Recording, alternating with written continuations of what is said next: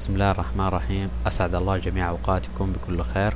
وأرحب بكم في أول درس من دورة GNU Linux على توزيعة Ubuntu راح نتعلم في هذا الدرس إن شاء الله آه، كيفية تنصيب آه، نظام GNU Linux على برنامج وهمي.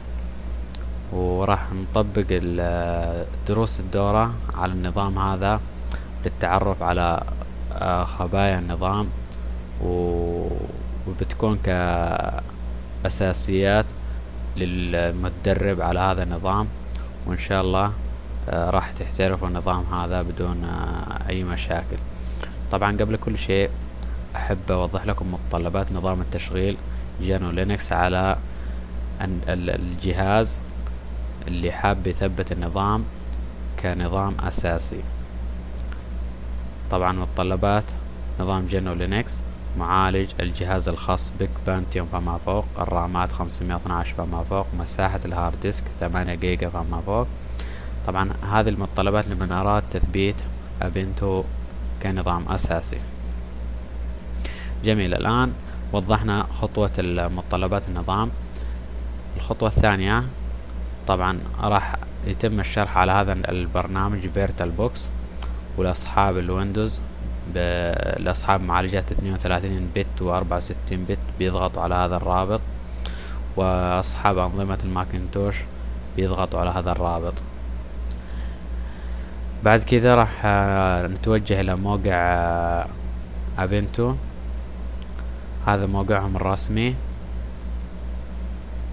وهذا آخر إصدار للتوزيعات 11.4 وهنا نوع المعالج 64 أو 32 هنا النسخة اللي انت حاب تحملها السي دي أو USB وهنا نوع النظام الخاص بك.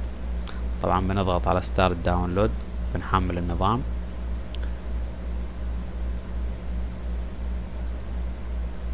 بتحفظ ال save file بتحفظ الاسطوانة على جهازك. بعد ما تحمل النظام وتثبت البرنامج طبعا تثبيته بيكون عادي.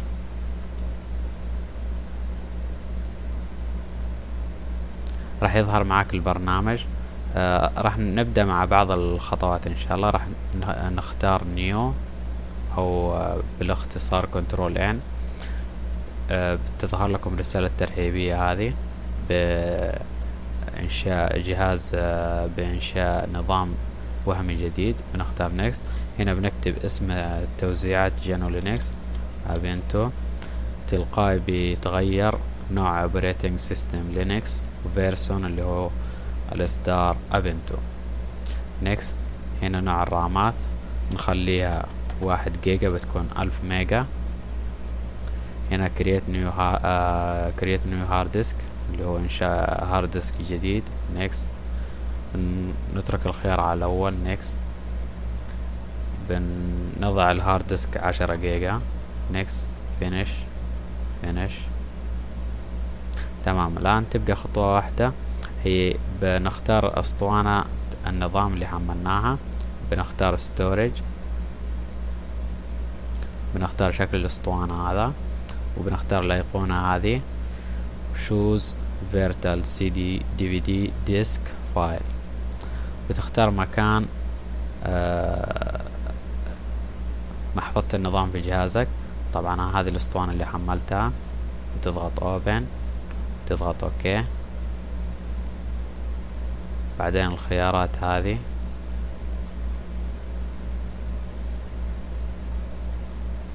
بتروح على خيار السي دي تخليه بدء الإقلاع. بعدين بتضغط على زر start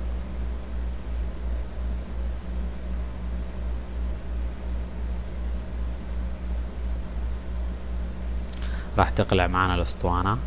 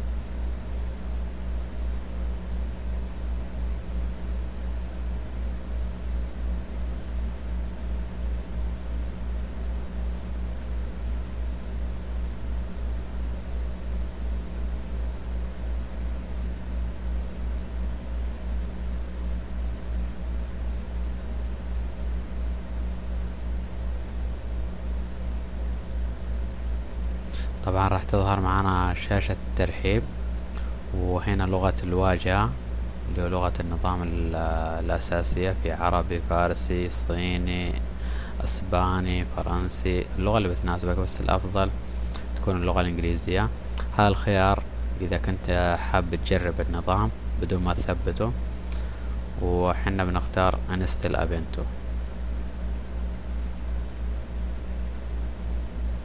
بنضع مربع آه علامة صح على المربع الأخير forward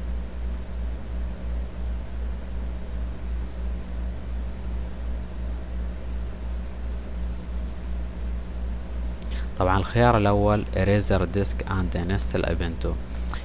بمعنى إنه لو كان على ال disk هذا نظام بيحذفه بيثبت لك ال Ubuntu تلقائي. إحنا بنختار something else forward. آه هذا الخيار new partition table continue. هذه المساحة اللي حددناها من شوي. بنختار add.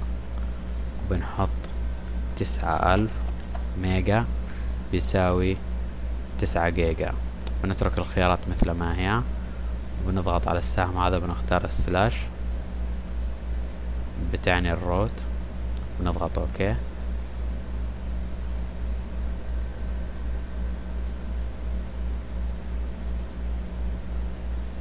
هذه مساحة فاضية بنختارها وبنضغط على add بنختار نوع الملفات. swap area ونضغط okay طبعا فائدة ال swap area آه، بتعتبر كرامات إضافية بتساعد النظام على الاقلاع وفي سرعة أداء النظام.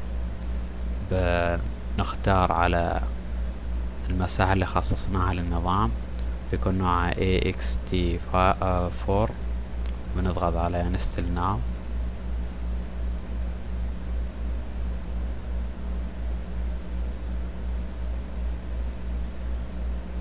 بينشئ مجلدات للنظام داخل المساحة اللي حددناها من شوي. طبعا هنا آه ظهرت لي رياض عشاني في السعودية و... وعاصمة المملكة الرياض. فأنت بتكتب آه إذا كنت في مصر تكتب القاهرة أو أي محافظة راح تظهر معك في الخريطة. آه هذه بتفيد في آه ال time اللي هو توقيت النظام. بتضغط على forward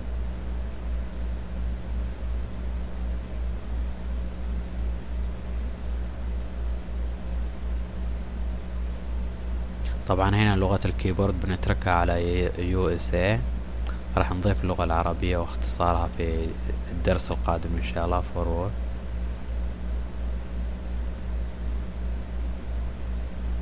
هنا your name اسم المستخدم الخاص بك.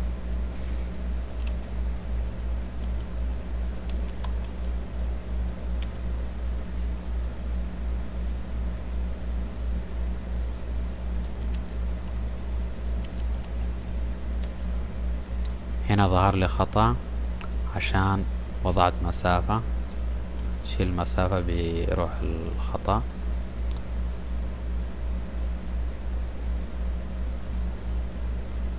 طبعا بتحط ال password طبعا ال password إجباري مو اختياري.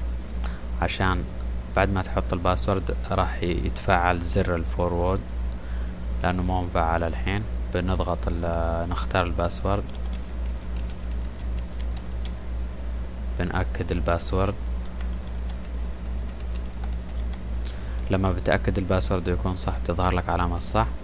هذا log in automatically وهذا require my password to log in أنا بفضل الخيار الثاني فورورد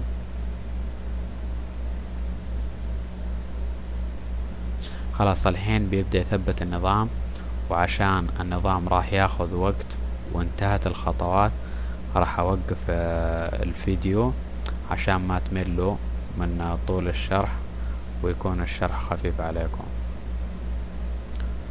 أول ما يخلص راح أعيد الفيديو إن شاء الله. الآن بعد أن أكتمل تنصيب النظام طبعا أنا الفترة اللي فاتت تركت ما في أي خطوات ووقفت الشرح عشان ما يكون طويل وممل عليكم. بعد ما انتهاء تنصيب النظام راح تظهر لك هذه النافذة وفيها زر ستارت ناو بتضغط على الزر.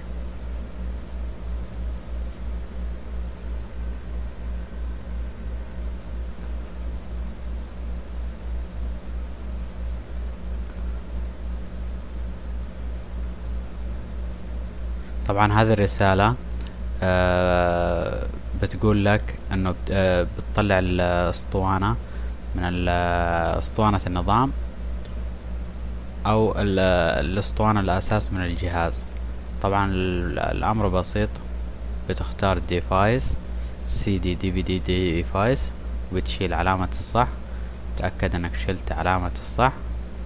بعدين بتضغط آه click يسار وبتضغط enter بيعمل إعادة تشغيل الحين وطبعا ملاحظة البرنامج اللي أول مرة يستخدمه مجرد ما بتضغط click يسار وبيكون الماوس جوا في البرنامج ما راح يطلع من البرنامج إلا إنك بتضغط زر control اللي في اليمين في ال keyboard.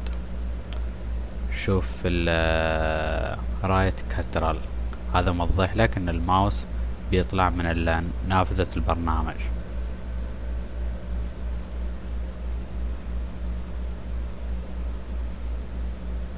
بيعمل تشغيل للنظام الحين.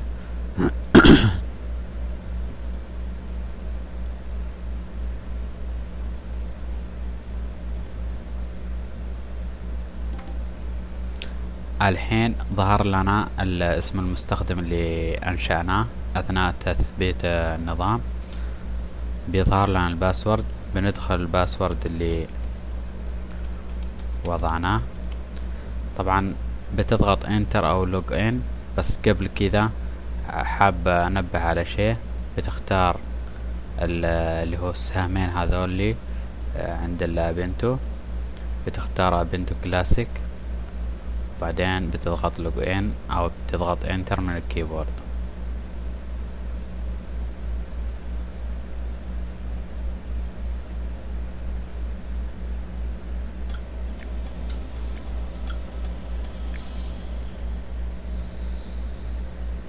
كذا حبايبي النظام شغال ويكون انتهى الدرس الأول من الدورة. وأتمنى الدرس يكون واضح ومفهوم واي استفسار أنا تحت أمركم. أخوكم الإيطالي في رعاية الله.